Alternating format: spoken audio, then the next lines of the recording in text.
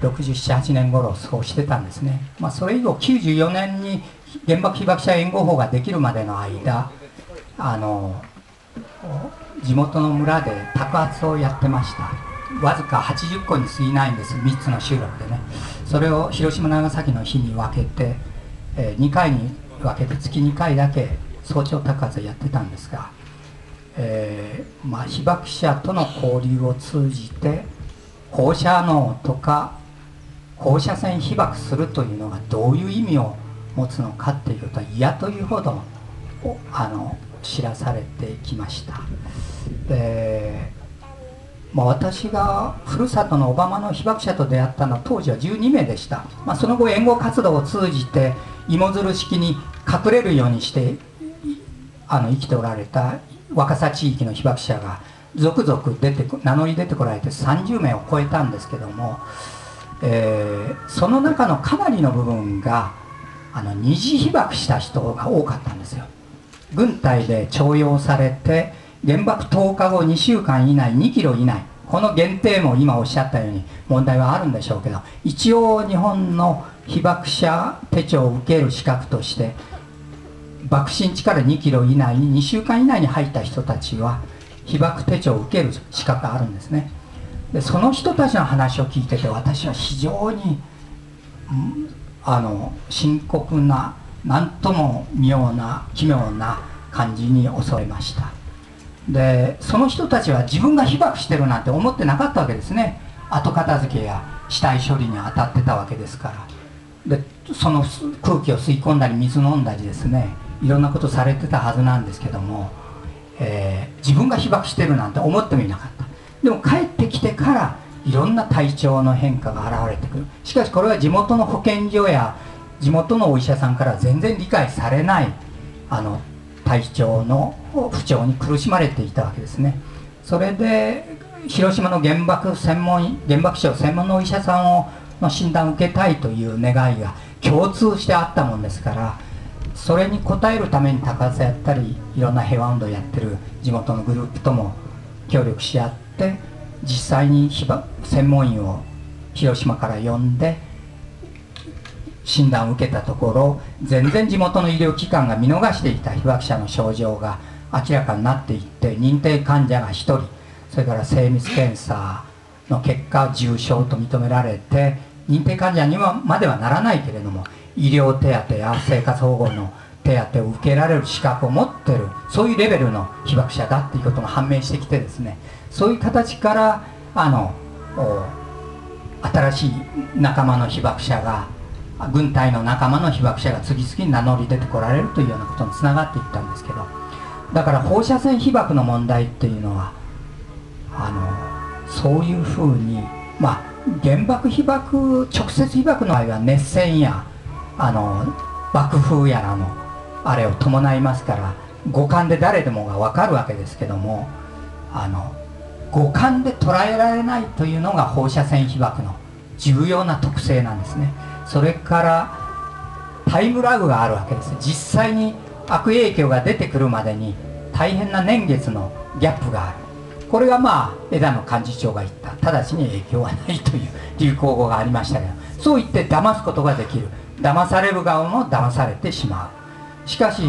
直ちに影響はないけど必ずあ後で一定の線量を浴びれば影響が出てくるっていうのが放射線被爆の陰湿で陰険と私は言ってるんですけどやりきれない特性を持っているなっていうことを原爆被爆者から思い知らされてきました。日本はさっきもお話森田さんとしてたんですけど熱い戦争下で作られた核兵器の被災広島長崎の被爆をしました。それから冷たい戦争の時代に米ソ両大国がをはじめ先進大国が あの核実験を繰り広げていました。その犠牲者が久保山か愛吉さんはじめ、えー、その冷たい戦争時代の核実験による被爆者も被爆があるわけですね。そして平和利用括弧付きの平和利用の名のもとに開発されてきた福島の極めつけの破局的な事故を被った、まあ、そういう形で日本の国民はものの見事にあの熱い戦争冷たい戦争平和利用の核の歴史の被災をしてしまってるという今日があるかなと思います。すい。ませんありがとうございます。えーと、あの被爆者の,、ね、あのことをお話しいただきましたけども、えーと、皆さんにですねもう知ってる方あの多いと思うんですがやっぱりぜひ紹介したいのはですね、え、被爆医師の飛田俊太郎さんですね、えーと、現在、えー、95歳で元気に全国あの公演で駆け回られています。で飛田さんがですね被爆したのは28歳の時です。で、えー、と陸軍の軍医さんでした。でたまたま6キロ先に欧州にあの往診に行っていたので直爆を免れたんですね。でちなみにですね日田さん6キロ先でですね原爆が破裂する過程全部見てるんですよ。こうあのものすごい熱球がこうできてねそれがぐーっとこう変化してでそれが破裂してこう巨大なあのキノコ雲が立ち上がってくる。多分生きていてその姿を見たことを語れるのは今僕だけだろうっていうね福田さんおっしゃってましたけども飯田さんそこからあの爆心地に自分の病院に帰らなきゃいけないと思って、えー、ずっとそのつまり放射能が濃いところに向かっていかれたんですよね。でその時に前からですね皆さん「あの裸足の弦」っていう、えー、漫画見たことありますかね。その中で、えー、被爆した方たちがね、え、ボロ布をまとって手をみんな前に出してこう歩いてくるっていうシーンがあります。ボロ布じゃないんですね。皮膚なんですよね。熱線で焼けただれた皮膚。まさにそういう方たちが群れをなしてきてでその1人を抱き留めてで、えー、日田さんに抱き留められてその方はそこで亡くなったそうですがそれが僕が最初に見た被爆者でしたっておっしゃってました。で以来ですね、あのー、6000人の以上の方の主治医をされてきたんですからね。でそれで日田さんが今言ってるのは、えー、その被爆者に起こったのこととね同じことが、えー、実際にこれから、え福島原発の被爆者の中に起こってくる。すでにそういうふうなあのもう似たような症状っていうのはどんどんどんどん、えー、報告されてるんでぜひそれをあの見れる医療体制を作ってほしいってことを皆さんおっしゃってるんですね。で、えー、その面で皆さんにですねあのぜひ知ってほしいのはどういう症状が現れるかで、えー、っと原爆ブラブラ病というふうに呼ばれてきたものがあります。で、えー、原爆ブラブラ病というのはこれは言葉としては差別的な言葉です。あいつはブラブラしていてえー、怠けてるというところからついた名前なんですね。じゃあなんでそういうふうなことになるのかというと、えー、これは放射線障害によって、えー、細胞が、あの痛めつけられることによってですね出る症状としては、えものすごく倦怠感が出てる。で、え突然ですねなんかやる気が失せてしまって、えーその活力が湧かなくなる。そういう症状なんですね。ただそれだけ言うとえー、倦怠感はあの僕にもあるよっていう方が必ず出てくるんですけども、ね、あの特徴があるそうです。日田先生がおっしゃったのはあたかも喘息の患者のようにある時にスイッチが切れるように突然なるんだ。だから急にあの仕事をしていてその症状が出てくるともう立ってもいられなくなる。それまでは普通にしてるんですよ。でも急に座り込んでしまって仕事ができなくなってしまうんで周りの人から全然わからないのであいつは怠け者だと言われてしまうんですね。で日田先生が実際に見たのは診察に来られた方がで当時だから、あのー、被爆者ってなかなか見てもらえなかったんですよ。で被爆者だっていうことを言っても全く損しかしないのですごく差別されるばっかりなので被爆者の方たちがなかなか被爆者だっていうことをカムアウトできない時代がずっと続きました。で日田先生が被爆者を見てくれるお医者さんだってことで頼ってくるんですけども最初は日田さんに言えないんですねそれはね。でもやっと言えて、えー、先生実は私は被爆をしましたと。でそれを見てほしいんですでそれを言ってもう力尽きてしまってそこからですねあの椅子に座っていたのがあの最初は机に頬杖をついて「先生すいません」と言ってそのまま椅子を降りて、えー、診察室のそこに横になられてしまったです。で君こうしないとダメなの？って言ったら先生いや本当先生こうなんです。突然なってしまうんです。いうふうなねあの症状だそうです。だから人によって出方も違うそうです。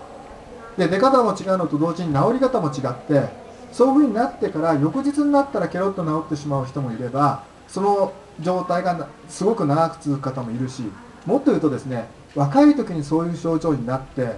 それがある程度まで経つと治ってずっと何十年も出なくて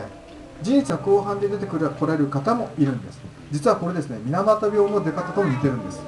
水俣病もそういう方があってつまり若くて免疫力が高い時は何とか抑え込んでいたものが年を取ってから出てくるということもあるんですね。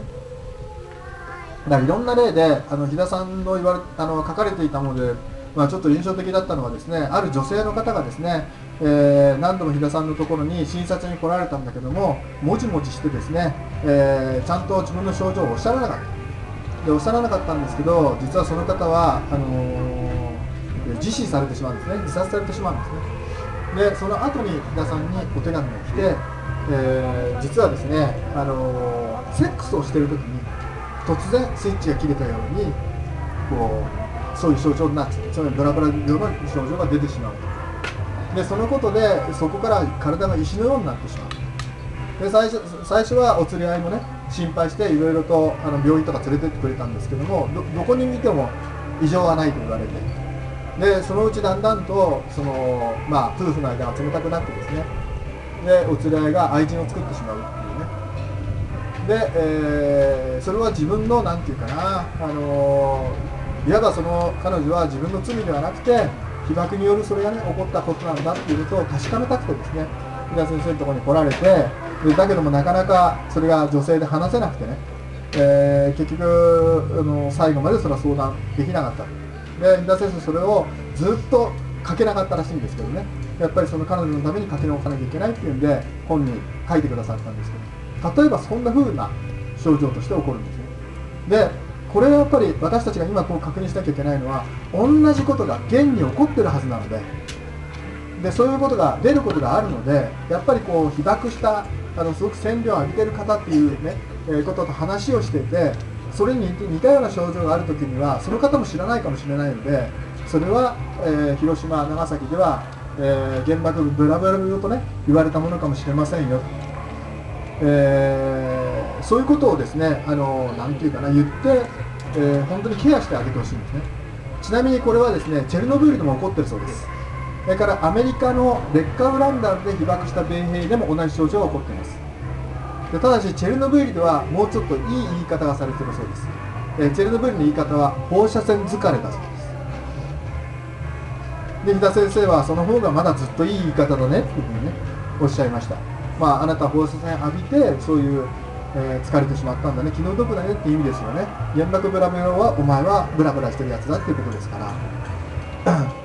なので、えーと、そういうふうなですね、あのー、実際に被爆者の方たちに起こったことというのを今からでもですね、えー、私たちがあの本当に学んでですね。で、えー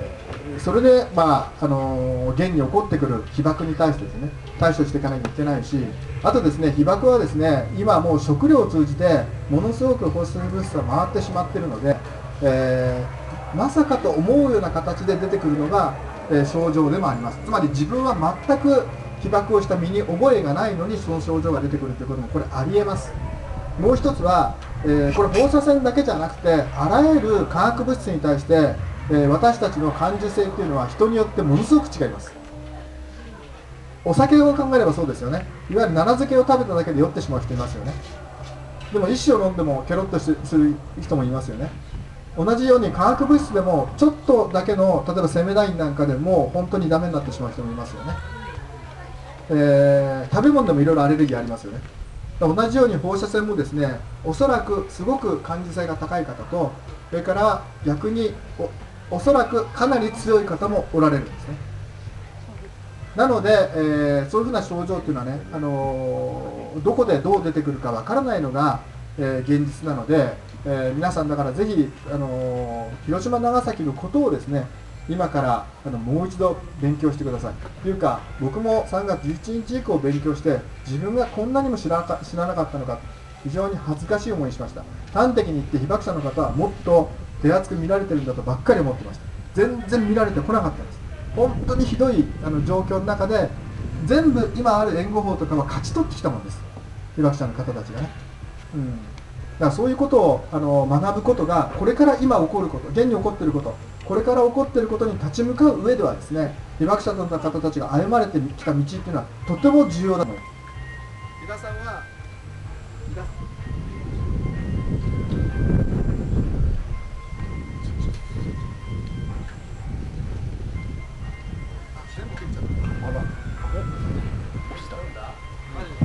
あ大丈夫ですね、えー、日田さんはですねあの被爆者は皆さんの先輩ですというふうにおっしゃいました。なので被爆者のねあの歩んだ道をぜひ、えー、学んでください。これはとても大事なことです。えっとねあの皆さんからもいろいろご意見も伺いたいんですがちょっと一つだけ被爆問題で補足しておきますと、えー、福島によって広範な地域の住民一般住民までが子どもたちをはじめ被爆してしまって被爆者化していますが、えー、実は原発が40年間動き続けてきた中でですね実は新たな被爆者を原発平和利用なる原発施設が生み出してきていたという事実をちょっと知っておいていただきたいと思っています。えーあの時間の関係でしょはしょって申しますが例えばあの福井新聞の昨年の10月5日にですねトップ記事で